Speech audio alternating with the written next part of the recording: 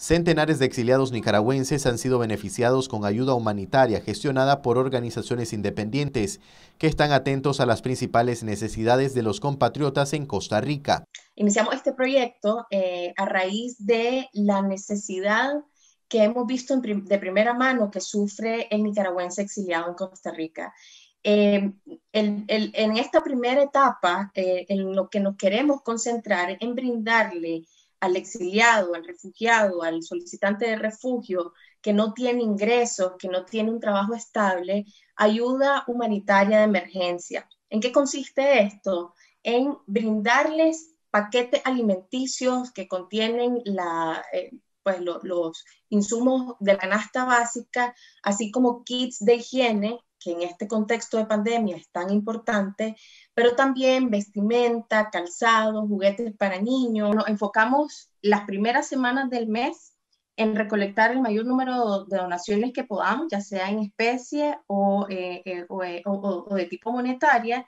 Y la última semana del mes nosotros levantamos la lista de las solicitudes que nos han llegado de apoyo, ya sea individuales o a través de organizaciones em, de derechos humanos, organizaciones civiles acá en Costa Rica, que apoyan a migrantes nicaragüenses. La presidenta de esta iniciativa también exhortó a la colaboración de más donantes para continuar con estas acciones humanitarias.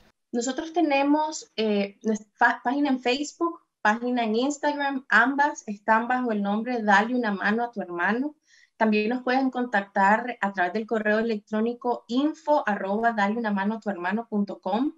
Em, igual, de igual forma, eh, al WhatsApp más 505-899-37174.